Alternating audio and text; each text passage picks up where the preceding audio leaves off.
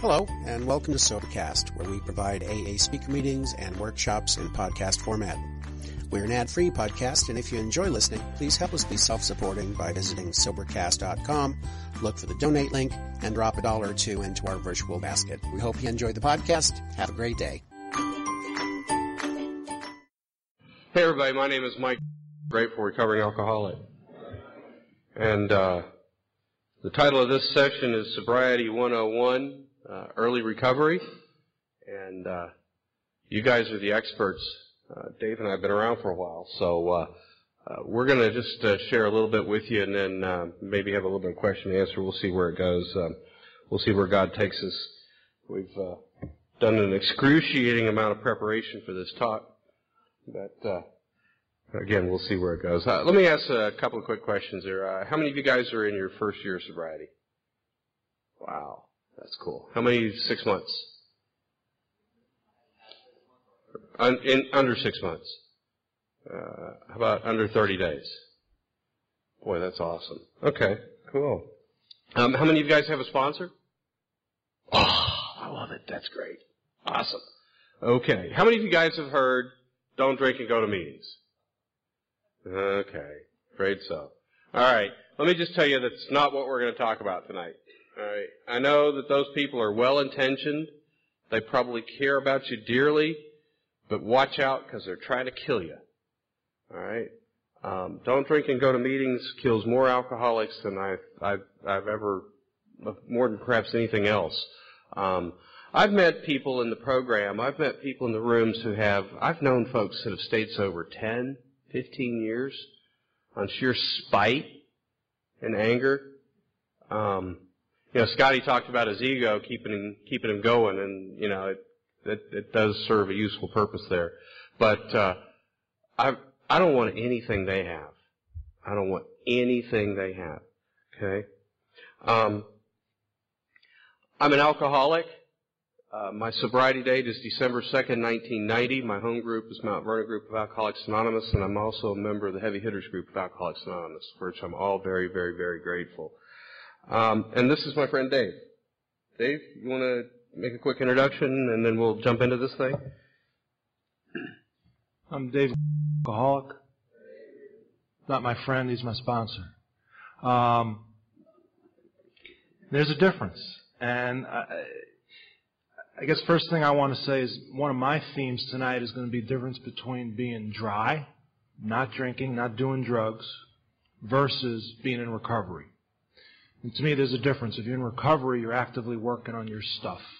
You're, it's, it's that second thing. You're, you're, you're clean, and you're trying to grow as a human being. Um, my sobriety date is 9-23-91.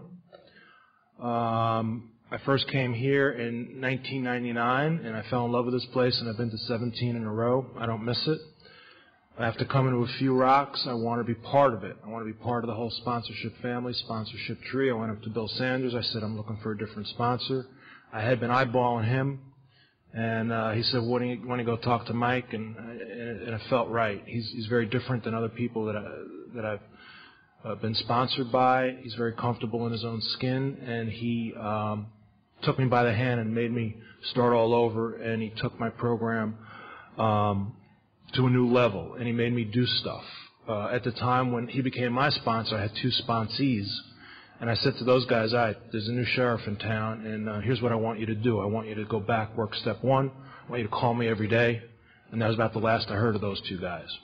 Um, so I now sponsor people the way he sponsors me, and two of my sponsees are here, and uh, I, for that, I'm real grateful. Um, and at this point, I'll let Mike take back over. Thank you, Dave. Um, you know, what we're going to talk about tonight is really, uh, it, it says in the big book, it says the spiritual life is not a theory, you have to live it. Okay? Um, have any of y'all ever seen the book Living Sober?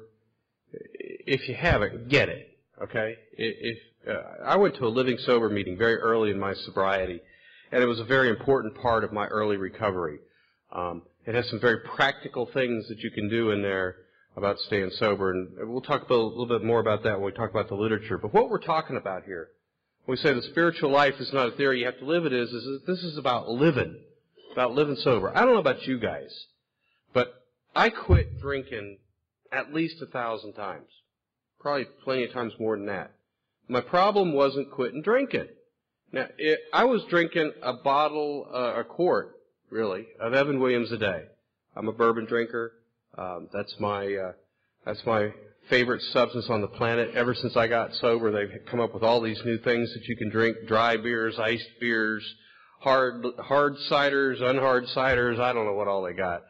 But uh, I drank. I was drinking a bottle of bourbon a day when I got here, and I could not stop drinking. I could quit, but by 4:30 in the afternoon, I was back drinking every day. You know, and I would beg God to help me, and I just was couldn't find the willingness to stop drinking. And what we're talking about is how to be a how to how to stay sober and be a good husband, a boyfriend, an employer, a friend, a son, a brother. Whatever it is, we are called upon to be members of society. We're called to live sober. Um, if if you think that the the way you stay sober is to hide out in AA meetings, it doesn't work. It's nice to have an hour of serenity a day, but it just doesn't work. Um, you can't hide out in AA meetings. That's not where life is. That's where that's where you hear the message. That's where you find out who the winners are you hang out with. Okay?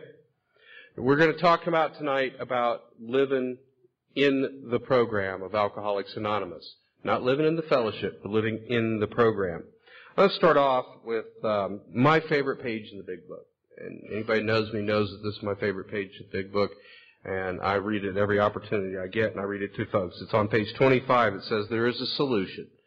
And almost none of us like the self-searching, the leveling of our pride, the confession of shortcomings which the process requires for its successful consummation.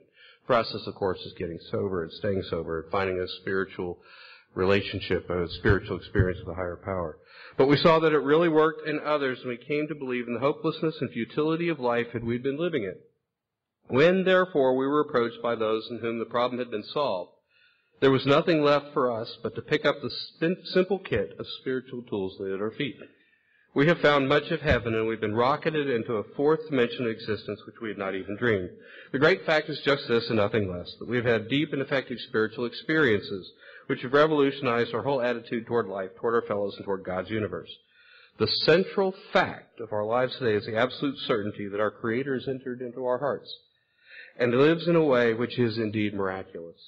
He has commenced to accomplish those things for which we could never do by ourselves. Now, let me start off here. If you look at this, it says, when we were approached by those in whom the problem had been solved.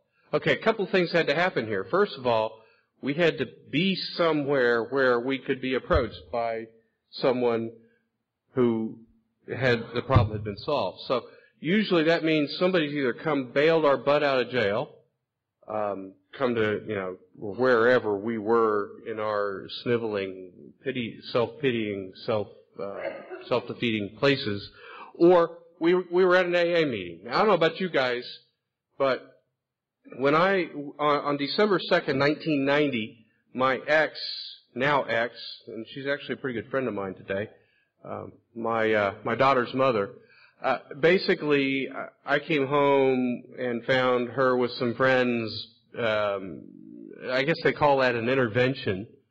And pretty much she said, you're either a pathological liar or a hopeless alcoholic. Little did she know that I was both. Right? She packed up the bags and left. And I did the only thing that I could, uh, an alcoholic of my type would do. It was Sunday. I only had that much booze left in the bottle, so I went up to Hooters. And I said I was watching the football game. I drank three bottles, three bottles, of, uh, three long neck bottles of Bud. I couldn't get drunk and I couldn't stay sober. You know that's an awful place. You can't get drunk and you can't stay sober. Okay? So the next day I kind of moped around. I didn't drink that day until I got off of work, and then at the end of the day I went up to the bookstore and there was a, I was looking for something about alcoholism. They had this book. It was wrapped in blue plastic or plastic, clear plastic. It was this blue book, and it said Alcoholics on the not Anonymous on it, and I couldn't get that book because it had the word alcoholic on it, and I couldn't be an alcoholic. The alcoholic was the guy who drove the drunk car into the house or into the driveway of the house across the street and went home and beat up his wife every night. He was an alcoholic because he walked in the house with his brown bag. I carried my bottle into the in, in my briefcase. Thank you very much. Um, How are we doing? I'm, I'm there. I'm there. Okay. Dave, Dave wants to make sure we keep on our plan. Um, the, the, where I'm going with all of this is, is that I discovered that I was an alcoholic, and when I said I was an alcoholic, the, wor- the weight of the world was lifted off my shoulders. So the next day I went in to see my boss. I'd made the decision after all of this I was going to put myself in the hospital, and when you do things like that, your boss kind of wants to know that you're not going to be around. Now this was the guy that in this last year of my drinking had become my boss, and I hated his guts because at one point in time we were going to kill each other, physically kill each other. And then he became my boss. You know, Jimmy Smith used to say it gets worse and worse and worse, and he became my boss.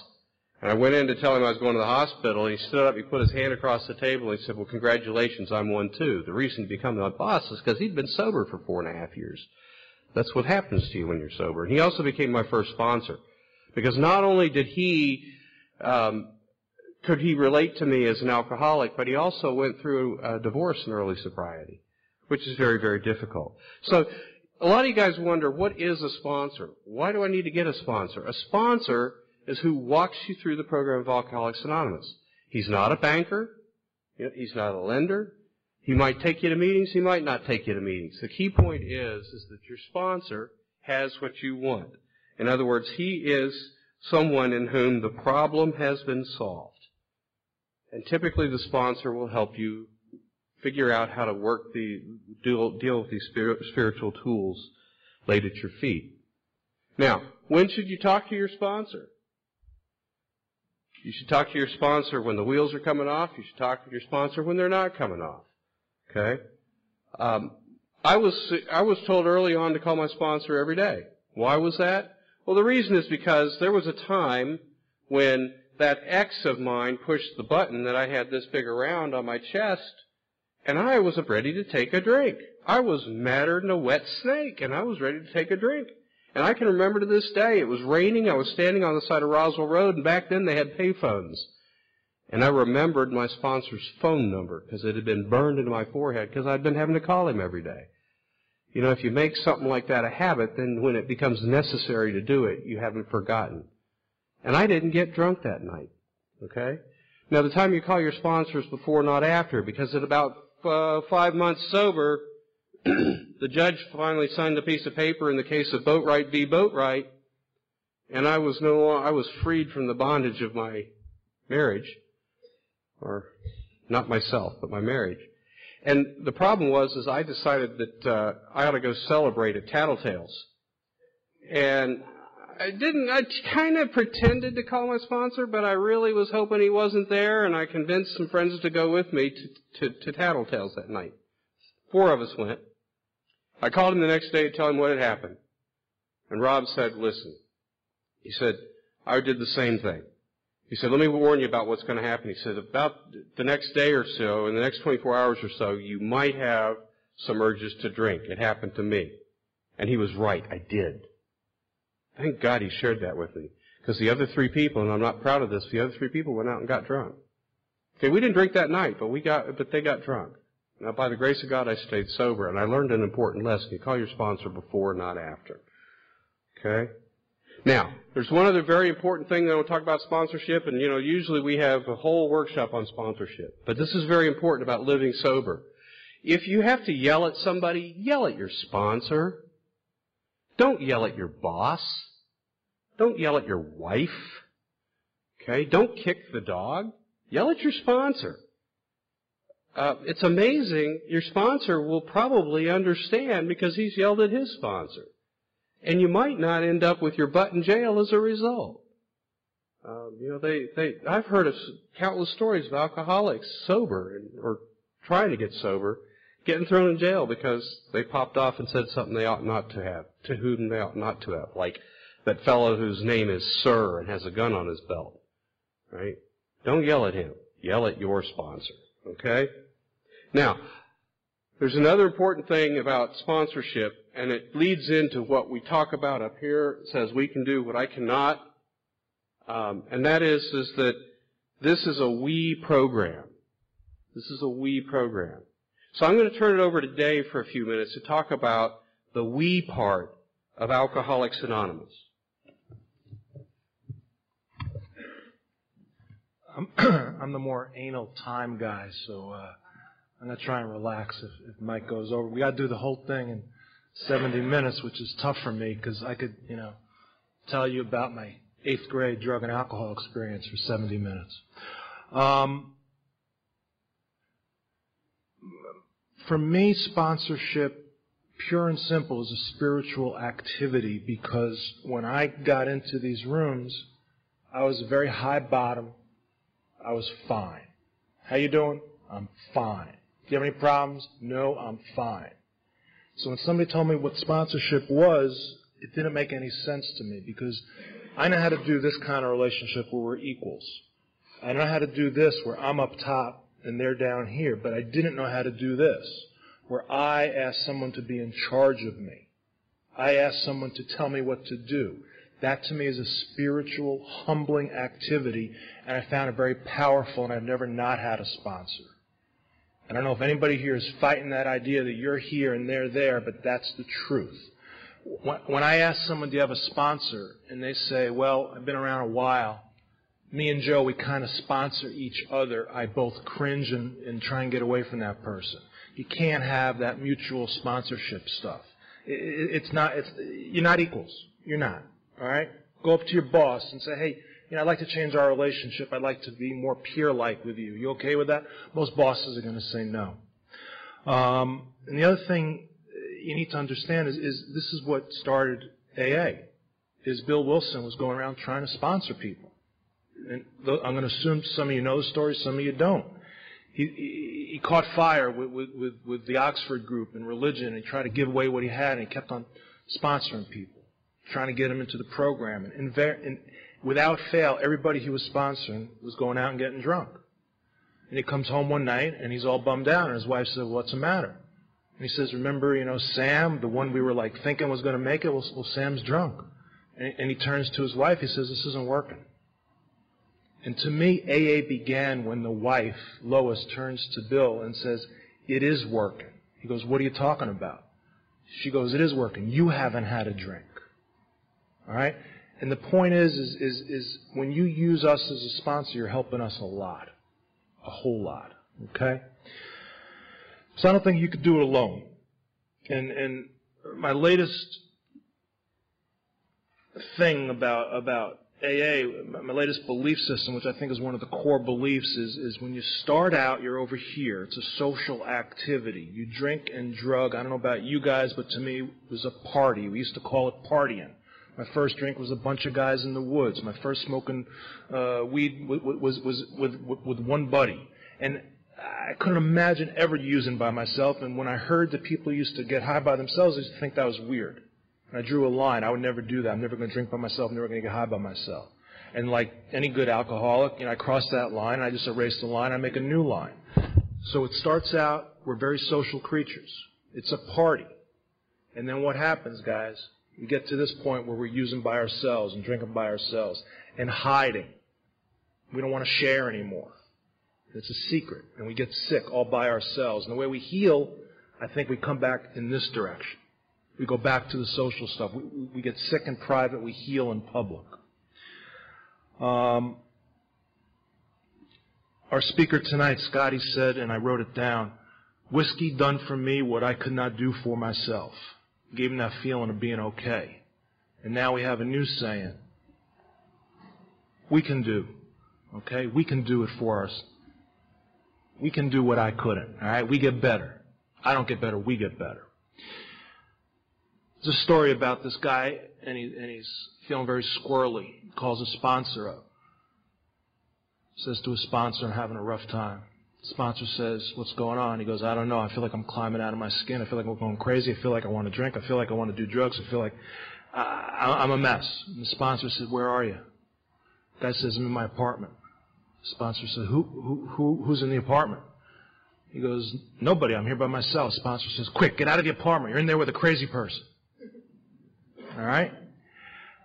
And if you guys are um, listening to the tape, the audience is hysterical right now with the microphones not picking it up. Um, when I was in treatment, I was told the first six meetings I went to to get six phone numbers and call those six people. That was very, very, very hard for me to do, and I'm a fairly social guy. I felt like an idiot getting a phone number, and I felt like an idiot calling that person up that night or the next day. Hey, Steve, remember me? I'm that guy Dave from the meeting. I'm supposed to call you. And my goal was to get off the phone as soon as possible. But what generally would happen is these guys would say, so what's going on? Start talking to me, and 45 minutes later, I hang the phone up, and I'd be pissed because it took 45 minutes to get off the phone. That happened time and time again. Eventually, I got used to asking for phone numbers. Um, when I started being sponsored by Mike, he wanted me to call him every day. I thought that was ridiculous. I had like eight and a half years sober, and I thought that was beneath me. But it was the best thing I ever did because I, it, I built up that muscle. And I was able to call him every day. And when I needed him, it was absolutely without effort to call him up and say, hey, I'm having a rough day. So call people when you're in crisis, but also learn to call people when you're not in crisis. And I think the more you call people when you're not in crisis, the less crises are going to occur. Um, make some sober friends. All right, they talk about changing playgrounds, playmates, and playthings. There's a reason. All right, very few people can stay sober if you hang around people who are getting high, drunk, wasted, a little bit buzzed, very buzzed, etc. It's tough. It's tough. Um, there's a point when you get enough time where you can hang out with people who are drinking, but I promise you, once you get to that point, you're not going to want to hang out with people who are drinking. I like people to be on my level. You know, um, Mike said, pick out pick out some winners. Hang out with people that want what you have. Um, and I guess you know the last thing I'm going to say is, you know, I have kids one of the skills I try and teach my kids is to say, I need help.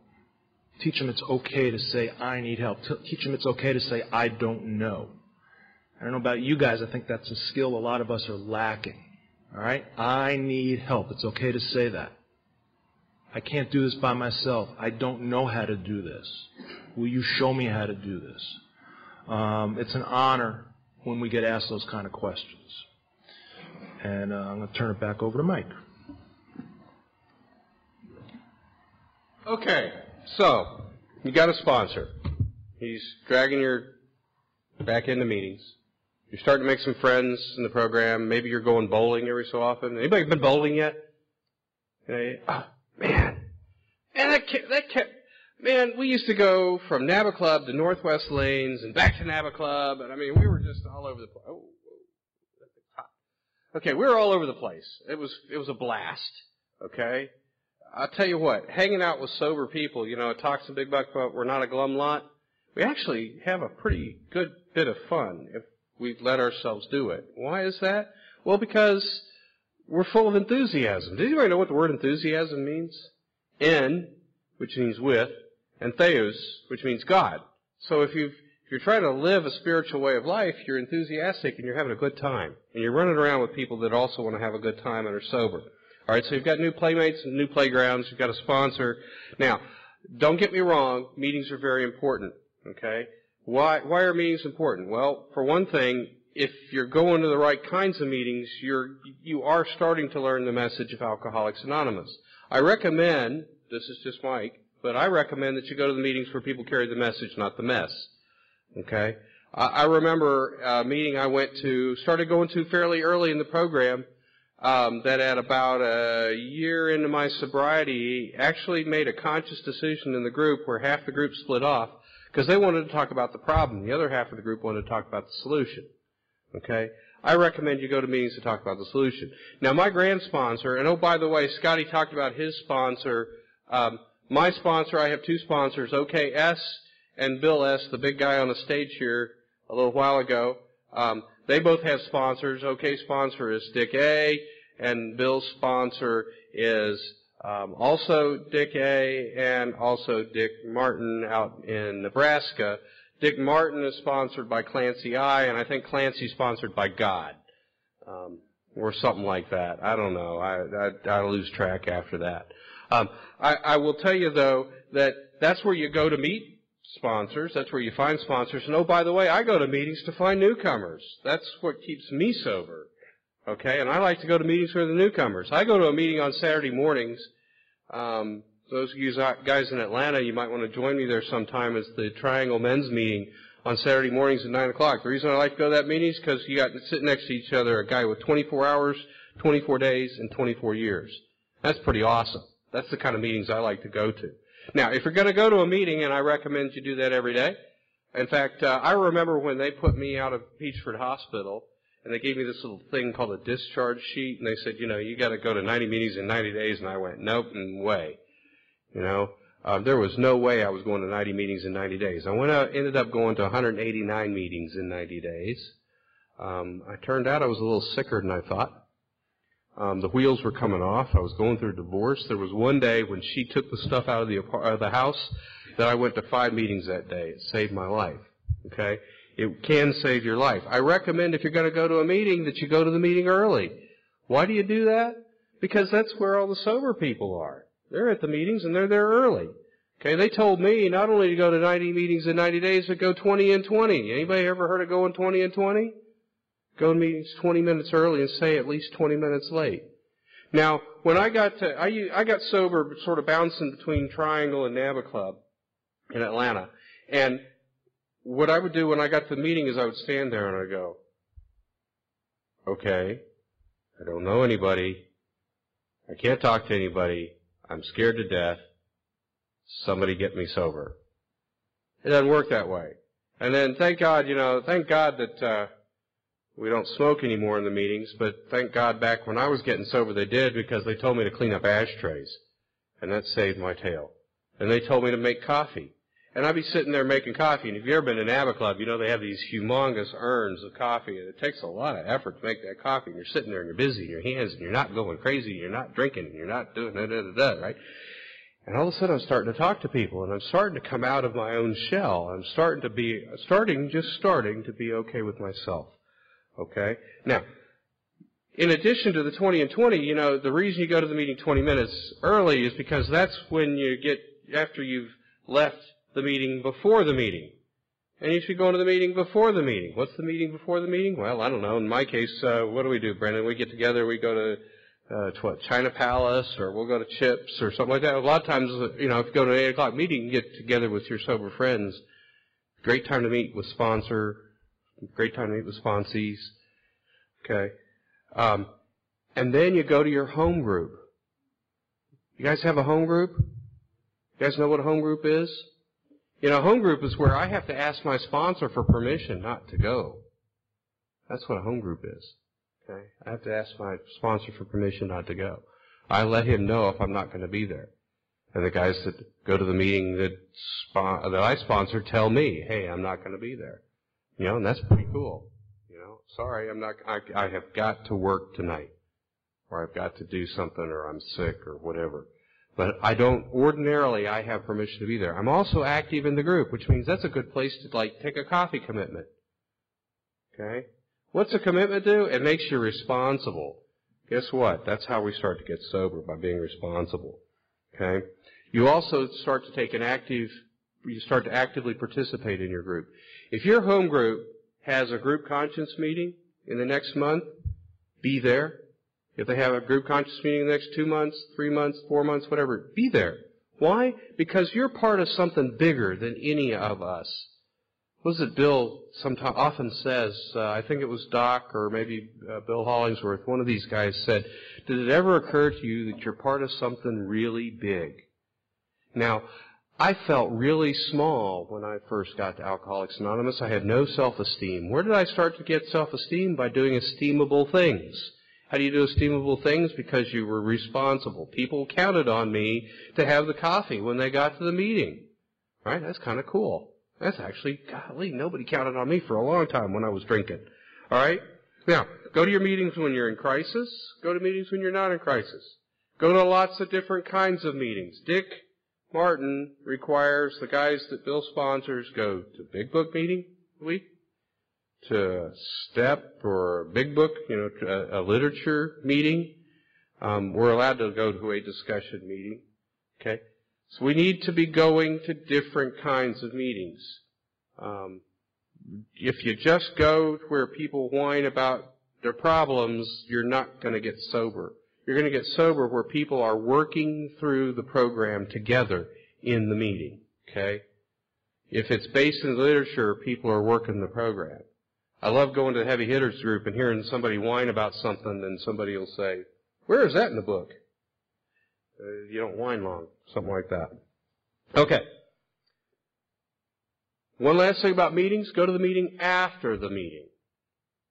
Um, I love I love Mount Vernon because people are usually hanging around that place an hour after the place closes, after the meeting closes. That's cool.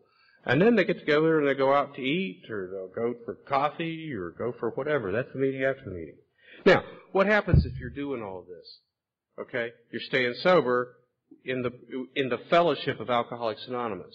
Now, it says here, this is where we were. This is when we get that approached by those that, in whom the problem had been solved.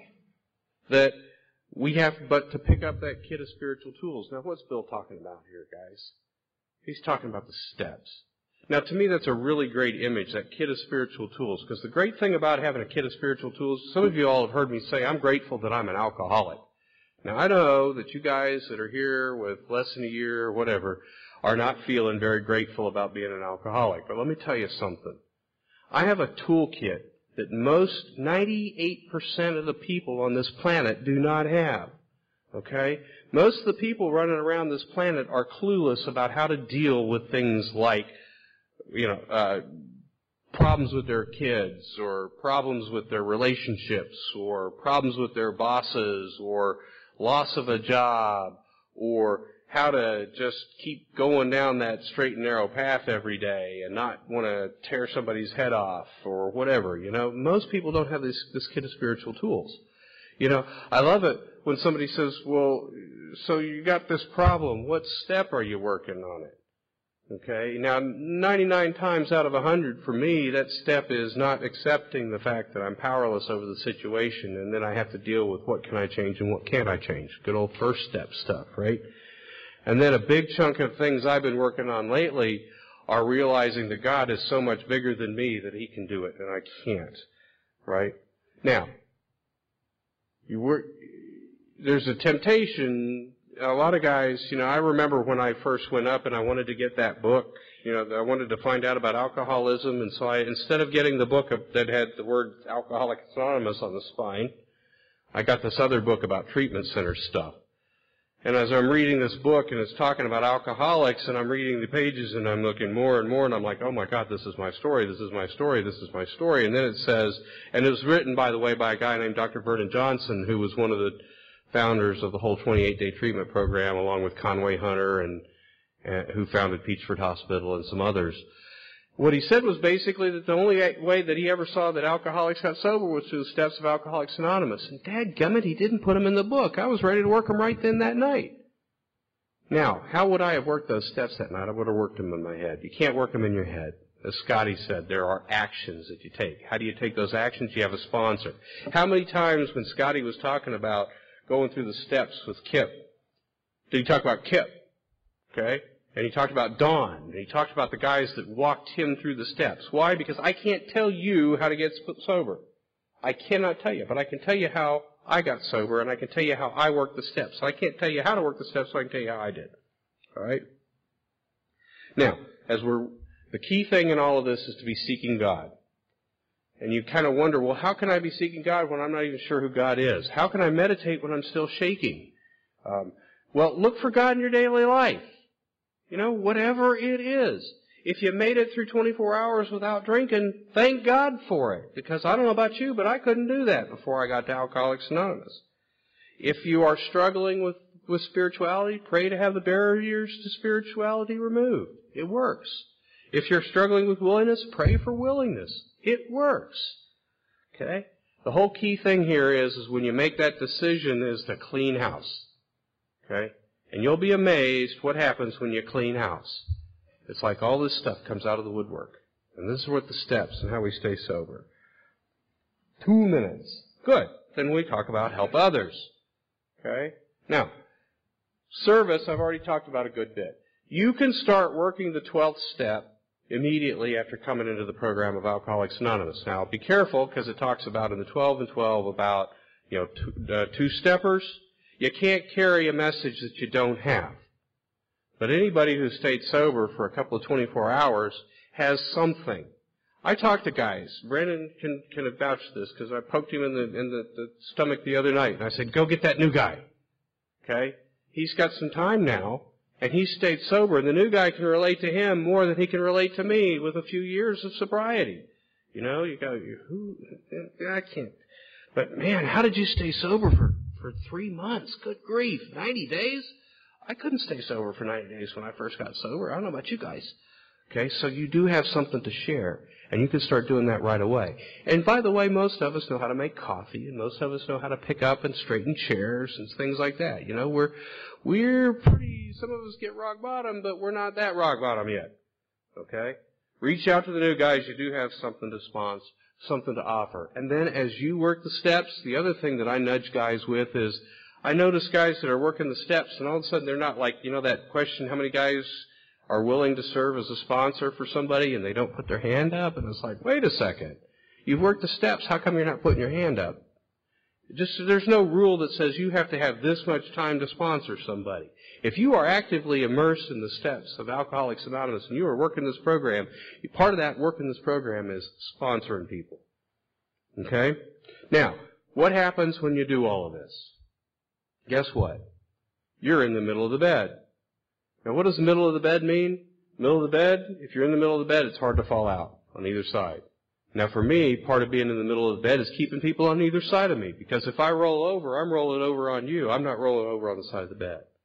Now, at this point, I'm going to turn it over to Dave again. We're kind of bouncing back and forth. This is going to sound really weird on the tape. He's going to talk about middle of the bed for a little bit. Thank you. middle of bed means a lot to me because I know if I'm here in the middle and this is the bed, I got a lot of room. And, and I'm going to stay sober. Now I'm going to stay sober. I'm going to stay happy, healthy, whole, feel alive, feel good, and, and, and do, to me, that second part of recovery, which is not only am I not drinking and doing drugs, I'm happy. I'm whole. I'm connected to others. It's a question I like to ask myself, and it goes like this Am I in relapse or am I in recovery? Ask yourself that question no less than 427 times a day if you're having a rough time. Am I in relapse or am I in recovery? Am I moving towards a drink or away from a drink? They drilled that into me in treatment. You don't hear it a lot in meetings. But ask yourself that, because my belief using the same thing, I'm, uh, the same bed over here, let's just change it to make this putting a drink or a drug into our body.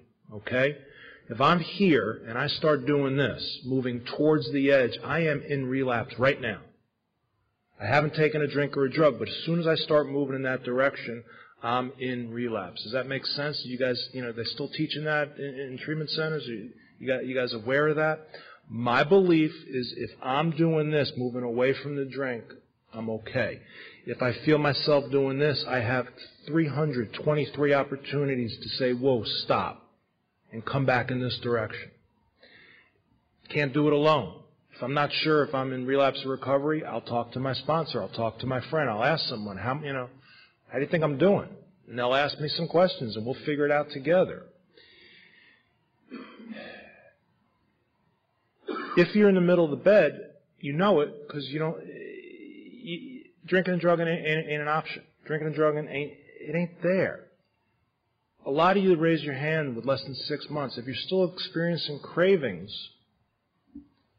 and they're not going away, they're getting worse, not better, you're doing this. You need to be heading in this direction. If you work on a program, the cravings are going to go away. That's not a, a maybe, that's a statement. If you stay working a program, your obsession to use will disappear. I have had weeks, I've had a month where I don't think about it. I used to not have five minutes. I'll have weeks go by where I don't even think about drinking or drugging because I'm trying to stay right here and I'm often succeeding. How do you stay in the middle of bed? I'm going to I'm to list very quickly the things we need to be doing. All right? It's an overwhelming list. You don't need to do all 17 of them. You could do one, two, or three, or four of them and feel okay. The list starts out pretty simple, and it, and it stays pretty simple. All right? Go to meetings. Have a sponsor. Talk to the sponsor. Some people that have sponsors don't talk to them. Do what the sponsor says to do. Okay? Have a list of numbers to call on you. Call the list. Talk to people in the program. When you're in crisis, talk to people in the program when you're not in crisis. Hang out with people in recovery. Go have fun with people in recovery. Work on a specific step. Have a home group. Read the literature. Okay? Big book. Came to Believe. Living Sober. Daily meditation books. Go to meetings early and stay late. Prayer and meditation daily. If you don't know how to do it, keep on trying. Praying for most people is easier than meditating. It's amazing to me they talk about prayer and meditation every time they read the 12 steps, but nobody ever tells you how to meditate. If you don't know, ask. There are books how to meditate. There's a book I like called Zen and Recovery, and one of the last chapters is how to meditate. It's about 20 pages long, and it tells you everything you need to know. Do service work. It can include making coffee and cleaning up. It could be more complicated, more advanced, like join H&I, hospital institution groups. Go and give away what you got. Um, no matter what you're doing, if you're doing service work, you're getting away from yourself. That self-centeredness is part of our problem. Anybody else in here self-centered? Anybody? Okay. Um, that, that, that's what we are. We're a bunch of selfish, self-centered people. The world revolves around us. And when I first got in these rooms, this, you know, this is, if I may talk about me for a moment, um, I'm an only child. And I thought my self-centeredness was because I didn't have any brothers or sisters, and I had a mom and a dad and a grandmother who hovered around me. And then I walk into AA and I see everybody else is selfish and self-centered, and I was amazed at the number of only children there were in the world. And then I found out most of you guys have brothers and sisters. It was shocking to me. Um, actively work on gaining more spirituality. How do you do that? Any way you can, guys. Actively work on getting more spirituality in your life. It's a feeling. If you don't got it, try. You'll get it eventually. A guy named Dal at Triangle used to say, if you hang out long enough, you will be contacted. Okay? You will get it. If you don't have it right now, that's fine. Just don't stop looking. Reach out to newcomers. Sponsor somebody. All right? The easiest prayer around is in the morning say, please keep me sober. At the end of the, the end of the day, say, thank you for keeping me sober. If that's all you're doing, that's great. Okay? If you're not feeling the God thing, pray for God to remove the barriers to spirituality, and I promise you, you'll start feeling more of that God consciousness. Last thing I want to say about staying in the middle of bed is uh, my old mentor, Tom Butcher, used to teach me to ask, is this good for me or is this good for my disease? All right? If I'm about to go to Tattletales with my future ex-sponsor over there, I'm going to say to myself, is this good for me or is this good for my disease? And I know what the answer is. And the answer is this is good for my disease. I don't need to be going. All right? If I'm going to go out with that woman that I met you know, the one with 29 days sober, but, you know, very nice body. Should I go out with her? Is that good for me or good for my disease? Got to ask yourself that question. All right? Um, just one word about relationships that I like to say. Looking for relationships in AA is like hanging around bankruptcy court looking for business partners. Okay? Um, it's tough. It's tough. My last major piece that I want to talk about is not out of the big book. It's uh, it, it's my thing, and it's and it, real briefly, it, it's called feelings. I don't know if any of you guys are having any experience with feelings, but when I walked in these rooms, I read about feelings, I had heard about them, but I thought they were a bunch of crap. I thought my brain could get me out of any jam that I, that I was ever in. I thought I could think my way to happiness, think my way to good relationships, think my way to wealth, success, friends, you name it. So what I do today is I draw a line right here at my chin. And from my chin up is where I think, and from my chin down is where I feel. All right? I'm going to say this probably more than once. To me, addiction and alcoholism is a disease of not feeling. I'll say it again. It's a disease of not feeling. We don't like the way we feel. We're not comfortable in our own skin.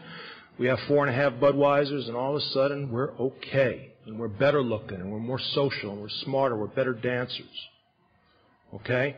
Um, I was more into drugs than Budweisers, and I found certain combinations would make me feel very good.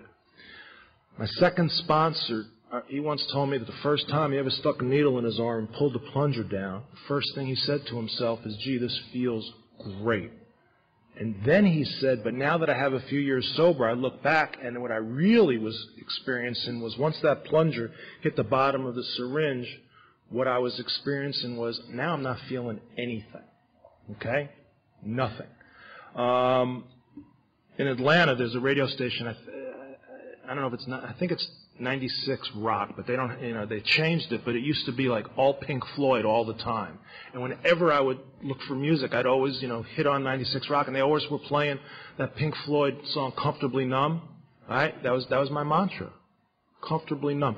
I I was a big remote control guy. I used to have like, you know, uh, my stereo, my TV, my, my ceiling fan, my lights, everything were remote control. I used to sit on the couch and I used to get my drugs and my drink and, and I used to like sit there for hours. And I used to fantasize about getting a catheter hooked up so I wouldn't have to get up off the couch.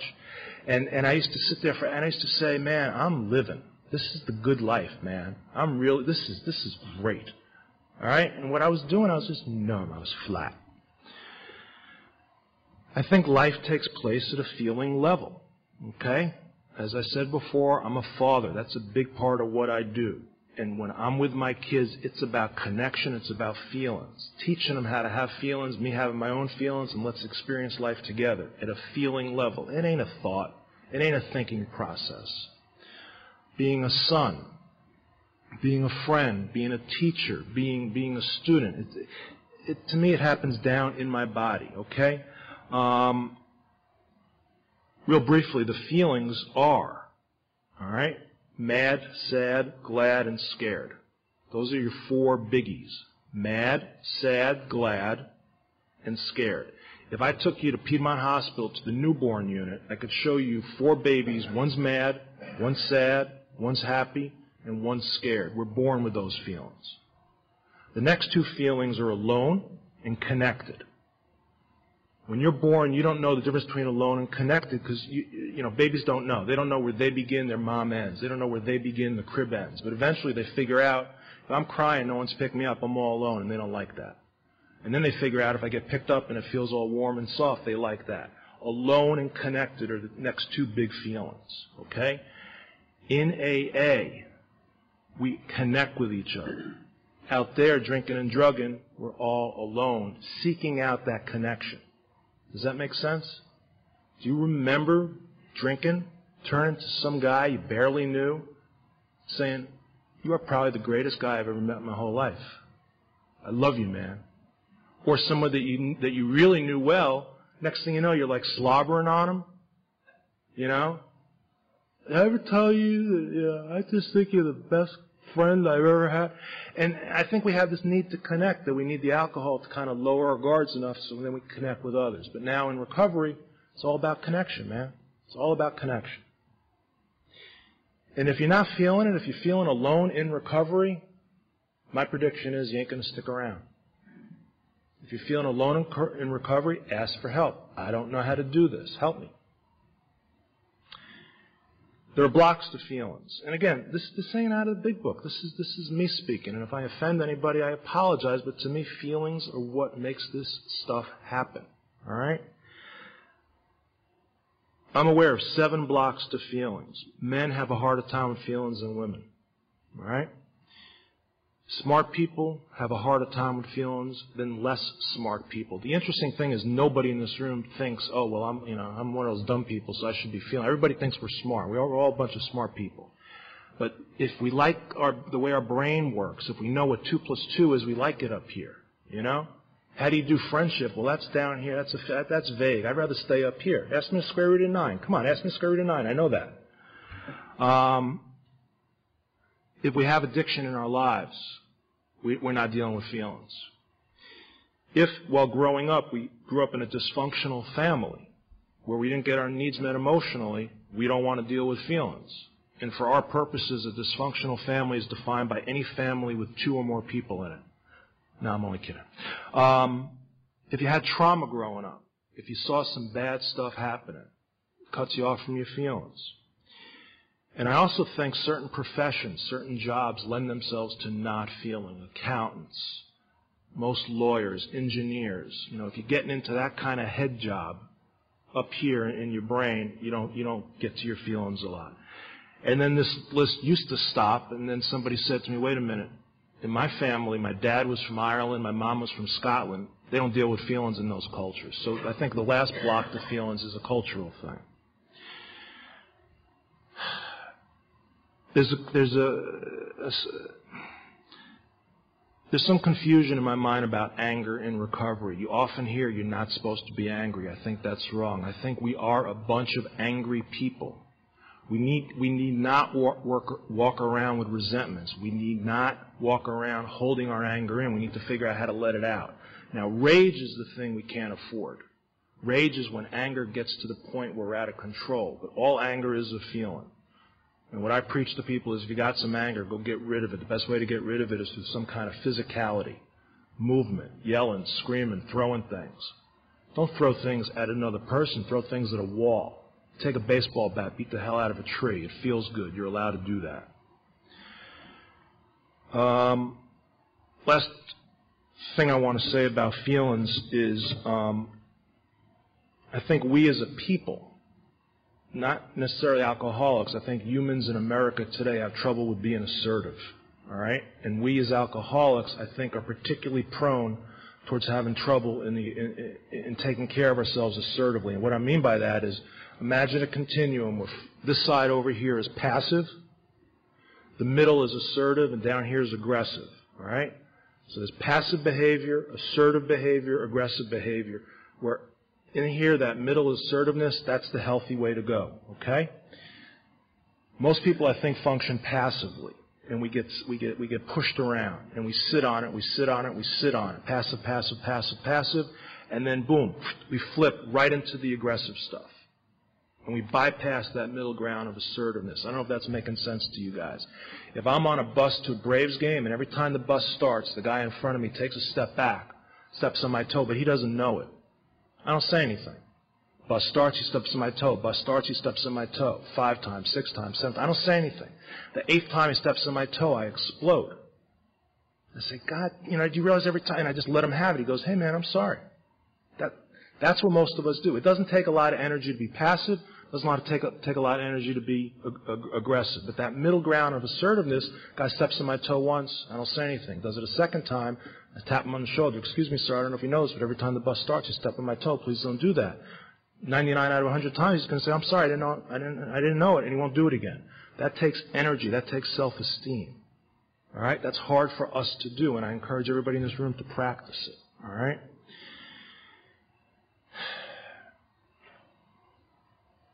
I didn't do the hardest of chemicals, but I did a lot of them frequently. If I was awake, I was high. So what that looked like is if I was doing some mundane, boring thing like, you know, doing filing papers or cleaning up my kitchen, instead of being down here, I'd be up here. I'd want to be as high as humanly possible. True story, I, I used to think, should I smoke a joint before my shower or after my shower? That was a big decision. Because if I smoked before my shower, I enjoyed the shower more, but then it made me come down. So maybe I should wait till after the shower. But then if I waited till after the shower, I wasn't, you know, I wasn't having as much fun in the shower. And I used to spend, I don't know, three and a half years total of my life thinking about things like that. I used to like to brush my teeth before, I mean, I used to like to smoke before I brushed my teeth in order to maximize the toothbrushing experience. Okay? So anything down here, I want to be up here. Then there's like the middle ground stuff, you know, going to the movies. All right, going out with friends. If everybody was here, I wanted to be up here. All right? And then, God, if we ever went to a party or a concert and everybody's like up here, I wanted to be up here.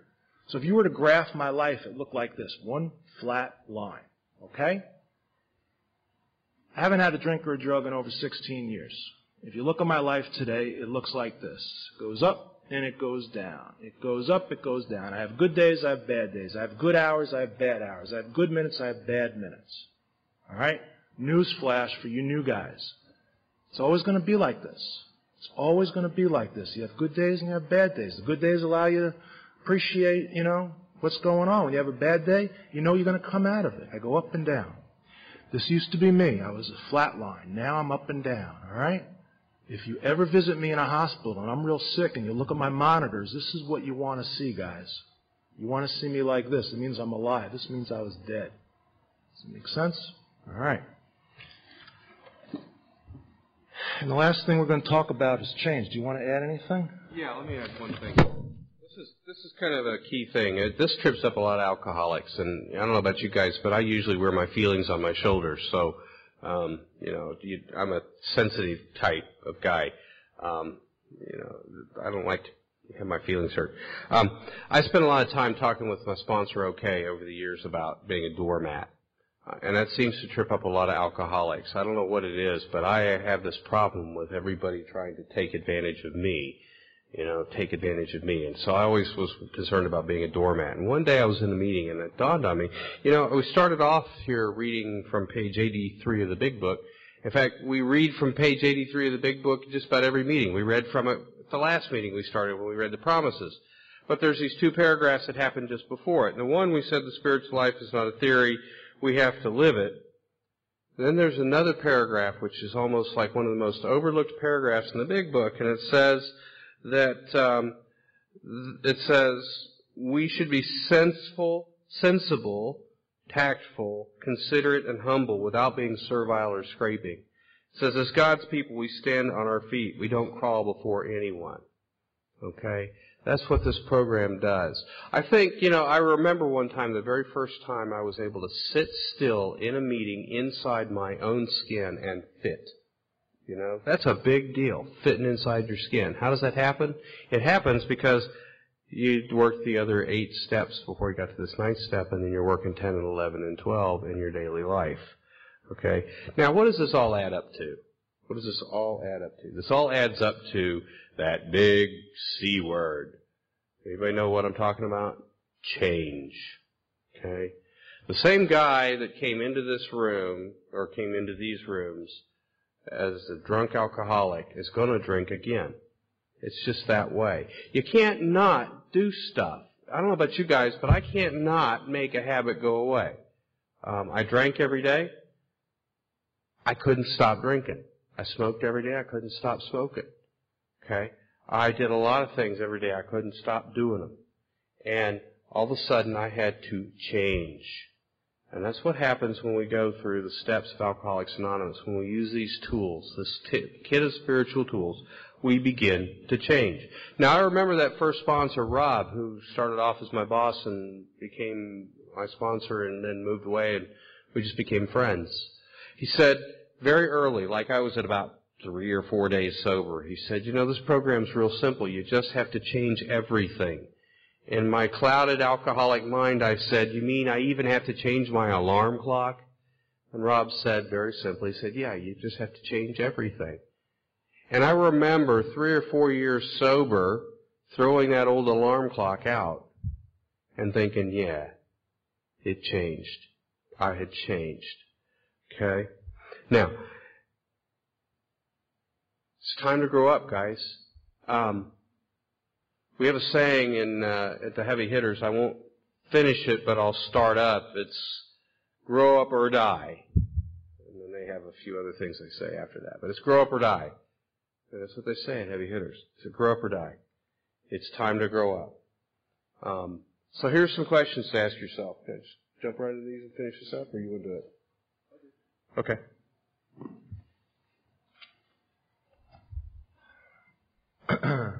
um, when I was in treatment, this guy used to ask the relapsers, the day you relapsed, can you tell me what step you were working on? The day you relapsed, did you go to a meeting? And the day you relapsed, did you ask God to keep you sober? And guess what? No one could say yes to any of those three questions. And then he went on to say, I've been asking these questions of 4,500 people who have relapsed, and I've never found one guy who said, Yes, I went to a, a meeting. Yes, I could tell you what step I was working on. And yes, I asked God to keep me sober. And I drank and did drugs that day. Just, it's never happened. All right. Um, I got, I got two more things. What, what do you got? Go ahead. First thing I want to say, to close, if those of you are not feeling real good right now, welcome to life, welcome to recovery. But what I could promise you is you're going to feel better if you stay clean and sober and get in recovery and work on your stuff. This is the only disease known to mankind where once we get better and we get over the disease and we're no longer in our disease, we're a lot healthier than we were before we got the disease. Does that, does that make sense? You got a cold, you get over the cold, you're not healthier than you were before, but you guys get, you know, get into recovery, you're going to be a lot healthier than you were when you walked in these rooms. Um, my, my, I guess it's my favorite story. This is an Indian elder, and he was teaching his, uh, his student, and he says to the student, I have two dogs inside of me. I have a good dog and a bad dog. And the two dogs are always fighting. And the student asked the question, well, who usually wins? And the elder said, whoever I feed the most. Okay? And that to me is recovery. I'm going to close with one, just one last thing that comes to mind. Um, you guys probably never had the opportunity to meet him. He moved somewhere a long time ago, way back up north. There used to be a guy that ran around Atlanta. His name was Wayno the Wino.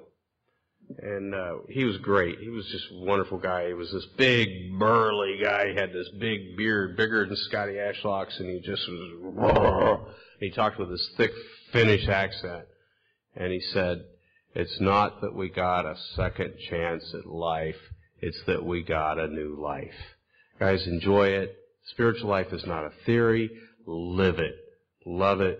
Love you guys. Now we're going to cut the tape off. We're going to just sit down and have a chat. If anybody's got any questions, wants to talk about any of this stuff, we'll just talk about staying sober for a little bit. Thanks very much.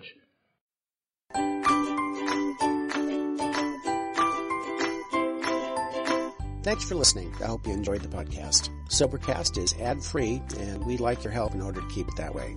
So if you'd like to help us be self-supporting by pledging a dollar to a month, visit Sobercast.com and look for the donate links. Thank you very much.